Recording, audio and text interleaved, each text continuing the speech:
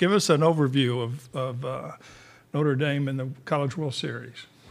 These guys have been exceptional. Um, this is our 13th trip this season.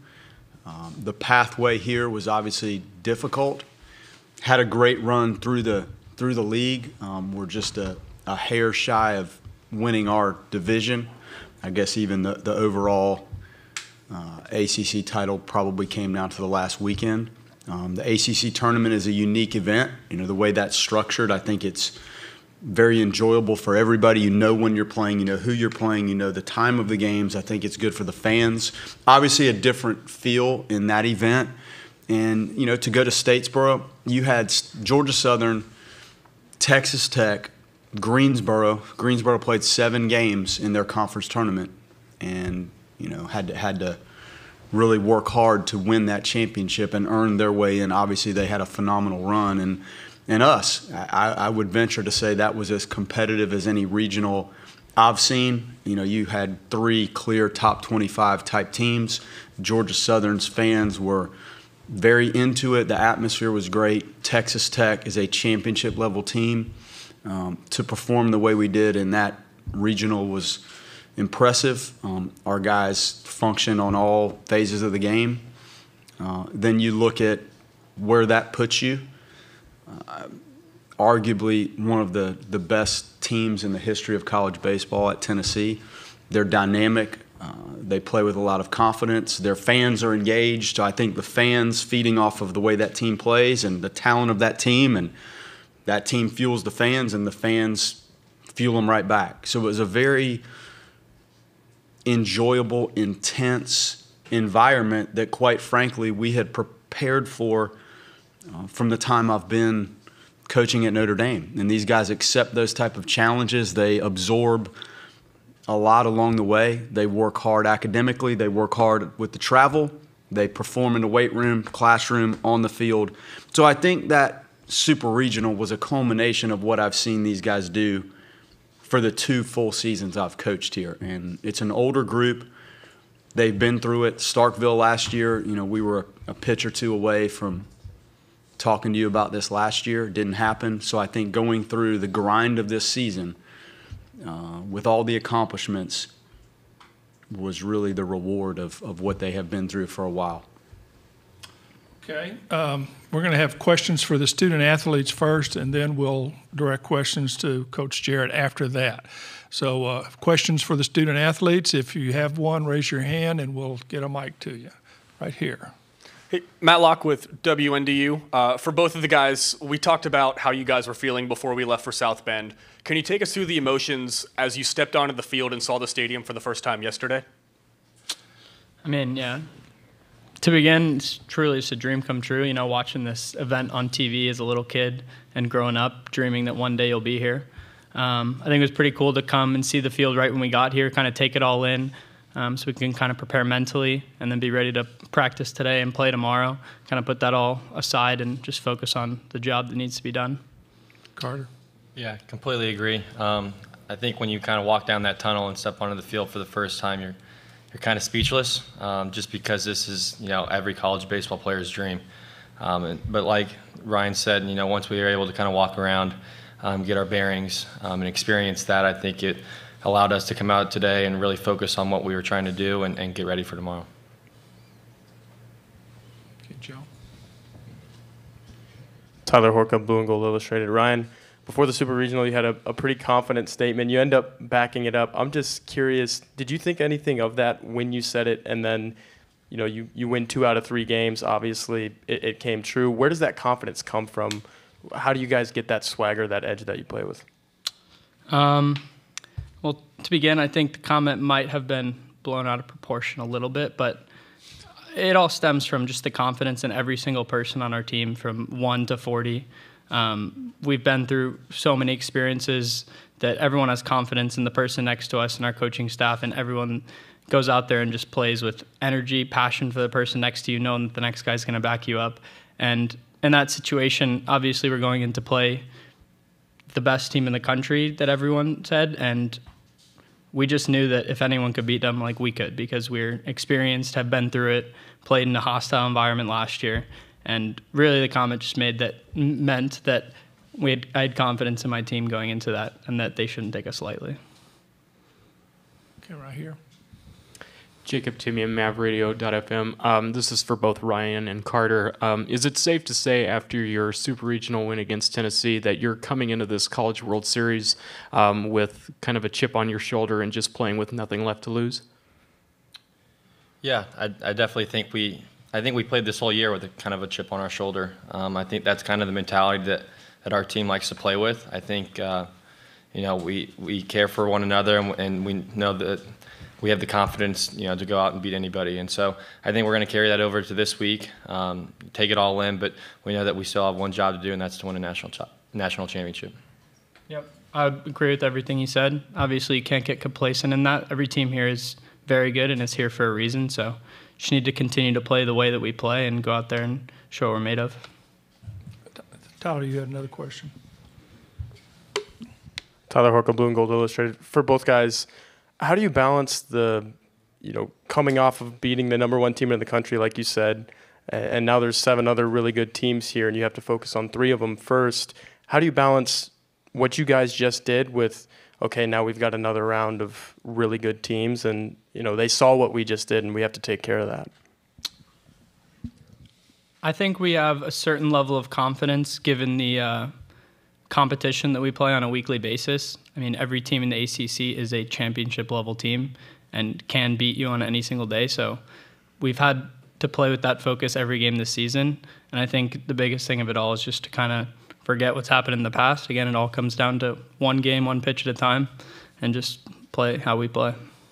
Yeah, completely agree. Um, I think obviously you, you, you enjoy that win, um, but to see everyone back in there um, lifting and, and at practice, I, you could tell that everyone is focused on on you know the next the next you know person we're playing or the or the next pitch, and so I think you know just taking it one game at a time, taking it one day at a time, um, really helps this team just stay focused and locked in on what we have to do.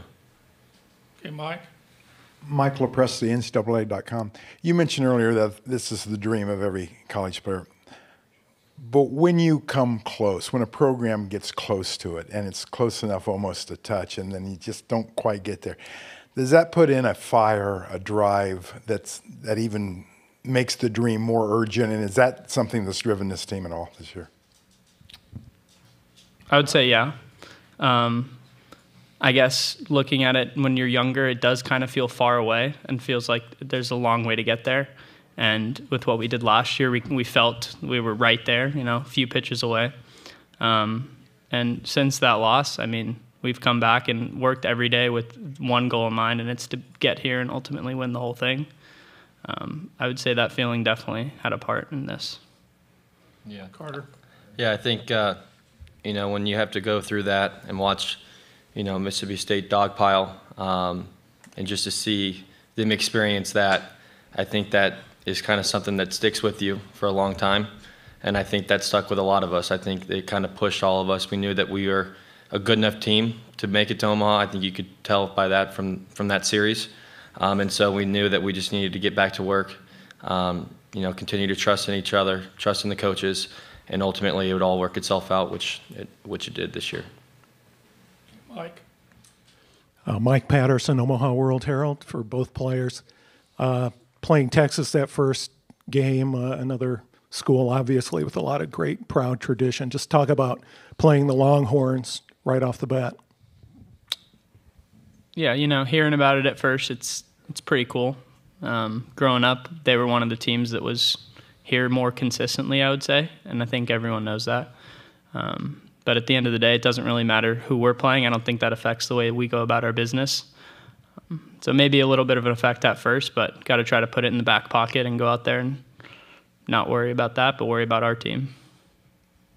Carter? Yeah, ultimately, like what Ryan said earlier, every team here is is good enough to win a national championship. You know, whether it's Texas or any of the other teams, and so you know, it's not necessarily worrying about you know the name on the jersey, but just trying to go out there and play our game and play with each other and and um, you know take it one step at a time. Okay. Okay, try- Anybody, any more questions for the uh, student athletes? If not, guys, we'll excuse you, and uh, we'll have questions for Coach Jarrett here in a second. Perfect. Thank you. Thank you, everyone. Matt Praxel is the SID. Yeah. If you have any other needs, just check with Matt. It's all on you. And we have a vehicle or something? Second bus? My gosh. Thank you, guys. Good luck. Thank you very much. Appreciate it. Okay, Joe, questions for Blank? Yeah, Joe Nugent, uh, WOWT TV here in Omaha. Uh, Rich Wallace was the first guy off the bus yesterday. Uh, a bit of a homecoming for him. Can you explain what he has done for your team this year, the, the value he's brought? Well, he's multidimensional. I, I think he's a lot like the guys that just spoke to you. Um, when you're recruiting at Notre Dame and you're asked to take the program and hire a staff, this is a national quest to find students that are capable of getting into Notre Dame. And then you could layer in the baseball talent that's required to play at this level. That's a rare combination that we have to find. And it's not a state by state because we're a state school, we're a private school. This is a national hunt for players. Then you have to actually get them because you know what? The other seven teams in this event are probably recruiting some of the same guys. So that's where it started for Rich. And the recruiting is the lifeblood of, of what programs are about. You have to have talented athletes in the program if you think you're going to have a chance to, to win at this level. Um, from a coaching standpoint, he's great with the catchers, phenomenal. Um, you know, he coaches third base, which has its ebbs and flows of how often you have to make tough decisions. He handles that. Um, he's latched on to what my offensive philosophies are, my defensive philosophies. The data and analytics that are available to us right now, every pitch that's thrown in the stadium probably provides 100 data points just from one pitch um, when that ball's hit. So you have the pitch and the result of the swing, um, the defensive alignments, the scouting report information, the video presentations that we'll go through tomorrow with these guys on Hansen and the relievers that we'll see. That's what this has turned into. And he handles that beautifully. And having worked at the event as a coach at Creighton, he was involved in this. So I've leaned on him just to have the right template for what we were doing today. It's a complicated day, and he's got a feel for it. So the layers that he provides our program with in, in an expert manner have helped change what we're doing. Okay, Mike? Uh, Michael Presti, NCAA.com. Like, how hard is it for a northern team to get here? Well, um, you know, you have to have you have to have the ability to adapt to your situation at the specific northern school you're coaching at. I've had to change how I practice, when we practice, where, why, how long, how you do your preseason.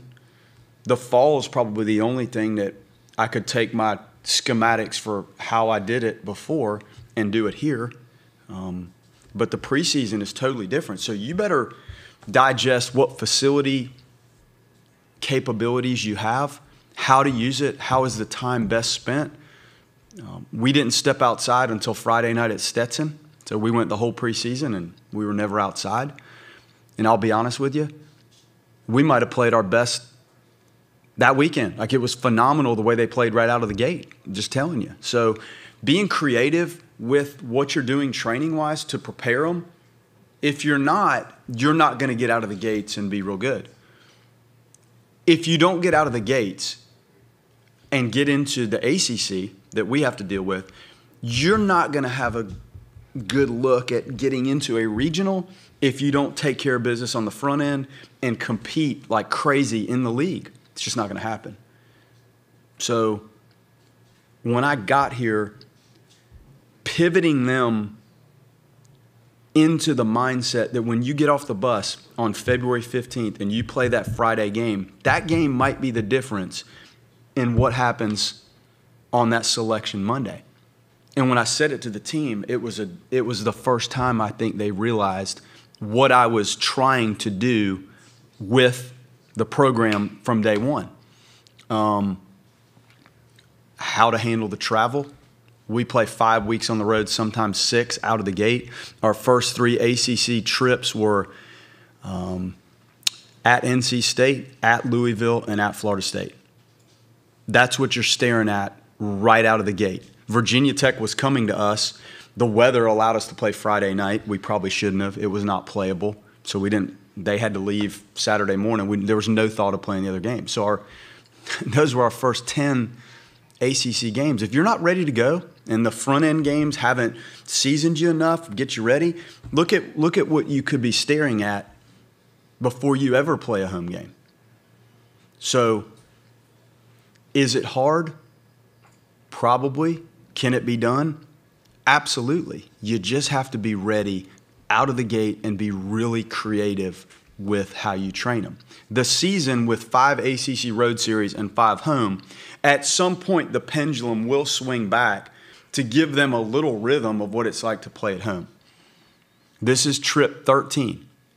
So they've been through it, and obviously we can do it. I think Michigan proved that a few years ago.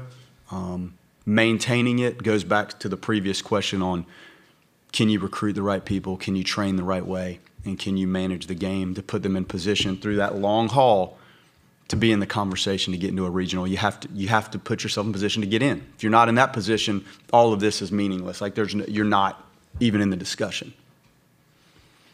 Okay, Tyler. Tyler Horka, Blue and Gold Illustrated. Link, obviously you were here last year watching your son. Uh, I'm just curious what it was like sitting there. Obviously you you want him to win so badly, but part of you probably is thinking, man, I want to be here myself really badly, and you were really close last year. Now that you were on that field today, on the other side of the net, coaching up your guys, what has the last year been like, and, and what is it like to finally realize it and, and you're coaching in the College World Series? I thought I was going to be coaching against him in this last year. Um, tough. Tough exit for them to sit there and watch that. Awful. Um, so, what you thought was the most monumental moment as a player for them turned into the worst outcome you could ever envision happening as a as an athlete.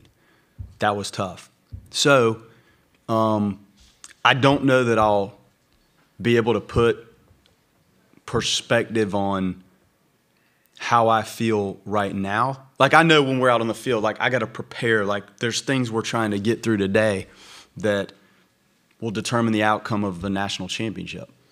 So, um, but when he gets here tonight and we're going through the opening ceremony, does he want to walk on the field tonight with us? I don't.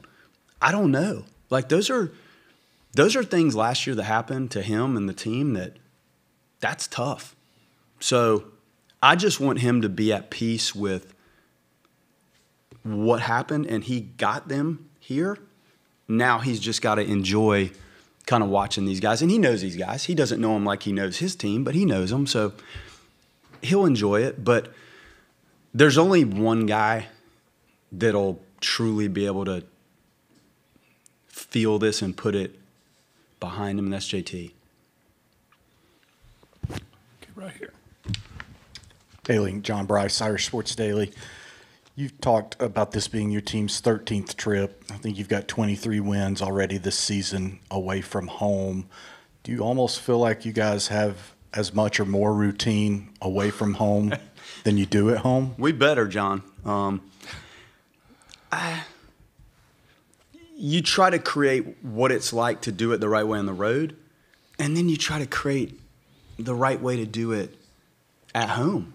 Like so again, you, you have to be really good in both instances to have a chance to be in the discussion for for any sort of postseason stuff. So we have to be really comfortable. And the thing about it is early, when it's all road, road, road, road, road, road, road, it it allows you to come up with rhythm and things you want to do on the road. Once you once you get through the travel and get to the hotel and start the process of preparing for the games, we do have a way that we like to do it. We also have a way we like to do it at home. So you you have to really be good at figuring it out on the road. And then when it's time to, we had some series in a row at home late, not not a ton, but you do, and it just eases the burden of them and sitting in O'Hare, sitting in Midway, and sitting in Charlotte to wait for a, a flight. Um, and then Sunday, packing up the hotel and scrambling and playing the game and jumping and bussing somewhere and flying and getting to O'Hare at 11 o'clock and bussing two and a half hours back to the field, and you get you roll in the locker room at one or two in the morning and sometimes that's four or five weeks in a row. So yeah, you got to be good at both. And piggybacking on that question, then what makes a good road team or a team that's good away from home, and how much of your uh, road routine is applicable here this week?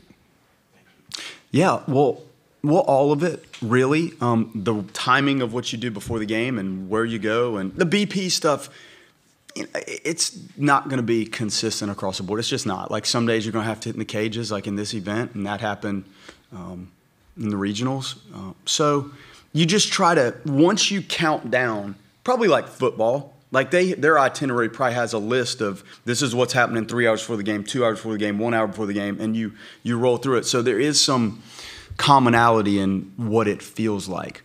Um, your first part of that was what? What makes a good road team?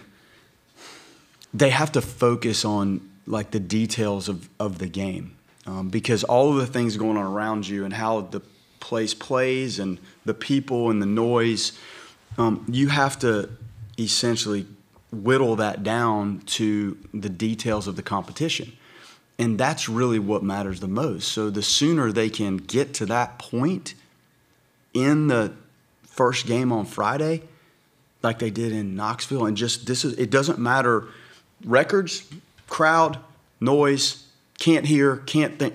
What matters is what's going on the field. So I think that's what it is, and being able to handle some adversity.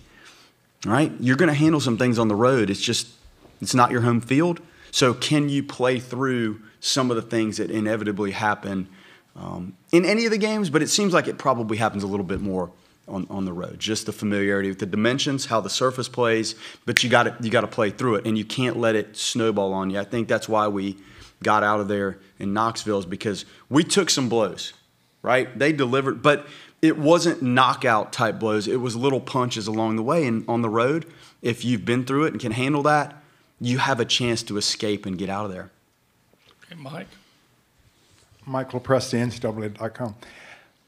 What memories do you cherish most of your own playing experience here? And, and as part of the trip last year or this year, do you, do you hop up to Rosenblatt, the, the, the, the place up there that they still have the little of the diamond, and kind of remember back at all? I mean, what what do those memories mean to you at this point as a player? Um,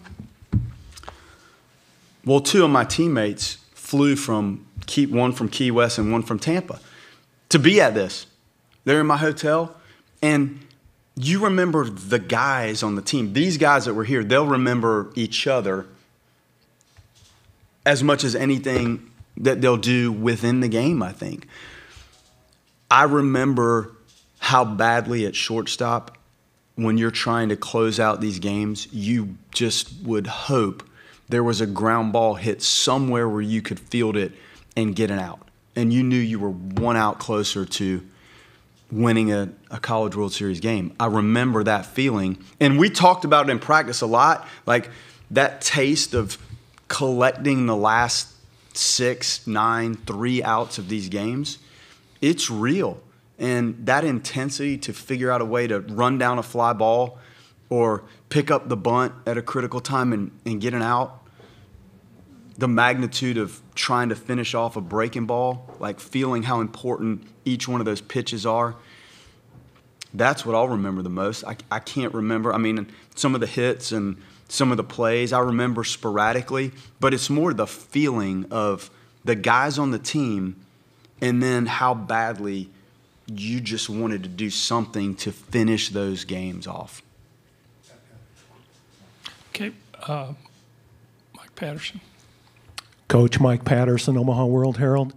Can you tell us who your starter is going to be tomorrow night, and uh, just talk about the challenge of playing Texas the first game? Bertrand will pitch. And to be honest with you, from what I've looked at with Hansen, I, I think you're going to see similar good lefties. Good. I mean, I think there's a lot of similarities. I, I don't, I haven't seen him firsthand, but we'll go with Bertrand, and it's a good matchup. And it's it's interesting that both of the lineups are a little right-handed heavy.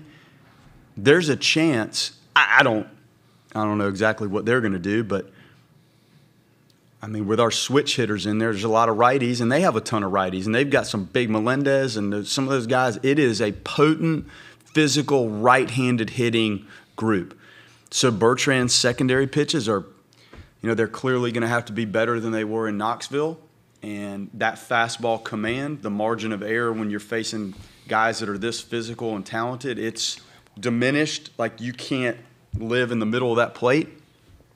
So. I think looking at it from big picture, you have some similarities in the in the team. I think both guys do a good job fielding their position, controlling the running game. So you don't get to this point in the season unless you have those type of guys to run out there in these championship events. And I think you'll see some really, really well played, well pitched baseball. The ball was not carrying at all today. To think about what it was doing in Knoxville, uh, and then to take batting practice here, we didn't hit one ball out, no problem. But in Knoxville, I don't know how many home runs we hit, but it was like we were driving balls, and so were they. So the dimensions and the way it plays, the grass grab it grabs the ball. So that plays into the pitcher's hand, and you got two really good ones going at it. Okay, this will be our last question over here. Coach Jason Patterson, Eye on the College World Series. You, we've talked about it. Been here as a player. You've been here as a dad a year ago, and now as a coach. Can you just put into words for fans out there what it means to be here from whatever perspective, because of what Omaha means to college baseball? How do you put into words whether you come here as a dad, whether you come here as a player, whether you come here as a coach, what it means to be in Omaha on a week like this?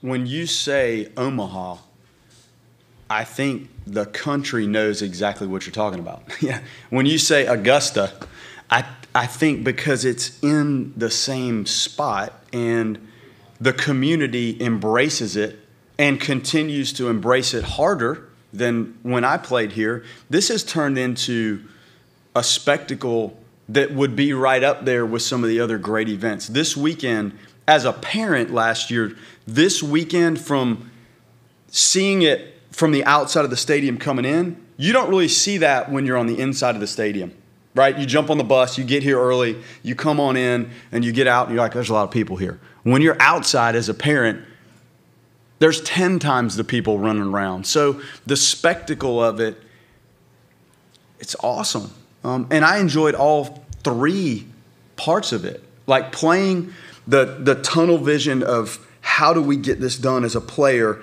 I don't think I was as aware of what was going on around me. I didn't really want to go get caught sitting somewhere for three hours trying to eat. I just wanted to do my thing and play and try to find a way to win. As a parent, this is great. We can go sit and eat all you want. He's in the cage. They're at practice. They're doing weightlifting. We'll see JT later.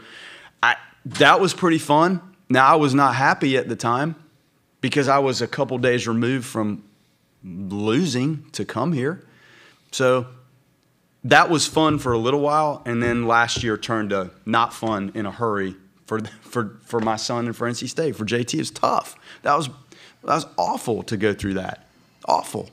Um, this, um, the intensity of, of this as a coach, I told our team, and I didn't want to make the moment too big, but I'd never seen a moment too big for him. I told him this will be the, the most contested, exciting series that college baseball has ever seen last weekend. I think it was. You had that group that had put themselves and separated from everybody else, and you had our group that I think people liked watching last year. And you, let's go see what this is. Maybe the two winningest teams in college baseball over the last few years. So the intensity of that um, was as immense as anything you could deal with in coaching. The relaxation I felt when Brannigan fielded the ball, threw it to Miller, Miller threw it to Putz. I hadn't felt that as a parent or a player. I was watching them jump over the railings. They were coming from every angle to get out of the dugout onto the field and dog pile, and I was the most relaxed I think I'd ever been to watch those guys go enjoy that. So, as a player, I was right in the dog pile. You felt differently as a player. As a parent, I was probably not the normal parent in this because of my job, but I tried to be. And then the coaching part, you know, just so calming and fulfilling to watch them move past what happened one year ago and see it in a place where I don't know how many people thought we were going to go in there and win. So, t- three totally different feelings, all pretty special. Like, thank you. As a reminder, locker rooms are closed to all media at all times. Please check with the team's SID for additional requests. Matt was here earlier.